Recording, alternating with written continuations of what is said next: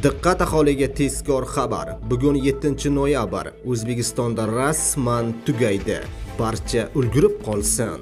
Videorolikdan to'liq xabardor bo'lish uchun video ostiga like tugmachasini bosib qo'yishni unutmang. Like bosgan insonni Xudoyim doim qo'llasin. Sizga zudlik bilan payvandlash bo'yicha mutaxassislar kerakmi? Butun mamlakat bo'ylab payvandchilarning katta ma'lumot bazasiga ega bo'lgan Shrit ilovasidan foydalaning. Xodimlarning profili va sharhlari orqali bir necha daqiqada muammoyingizni hal qila olasiz.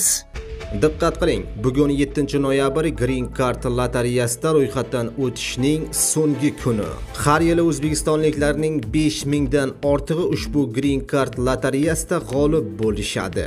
Hozirgacha ham Green Card lotereyasida ishtirok etmagan bo'lsangiz, tezda ulgurib qoling. Eslatib o'tamiz, Green Card 2025-yil mavsumi 4-oktyabr kuni Toshkent vaqti bilan 21:00 da boshlanganini va 2023-yil 7-noyabr 7-noyabrga qadar davom etishini ma'lum qilgan edik.